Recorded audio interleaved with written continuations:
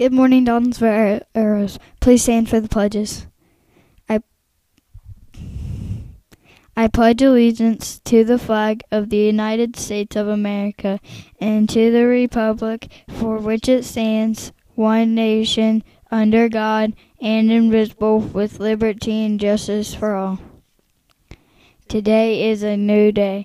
I am the best student I can be. I do my best schoolwork. I respect others. I play fairly. I am proud of all I do and say. Today's lunch will be Bosco sticks, cheeseburgers. Breakfast tomorrow will be funnel cake. Now to the word of the week.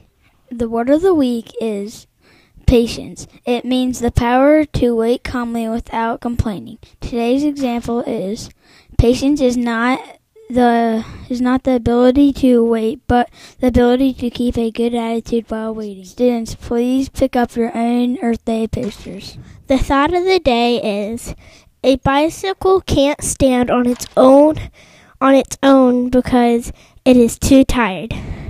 Next to the, next to today's weather. Today's weather will be few storms, high 84, low 68.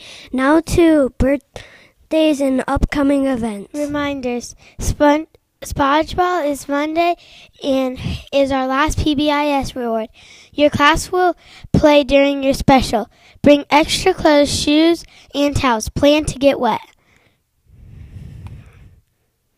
Upcoming events are reminders. Library books due Thursday.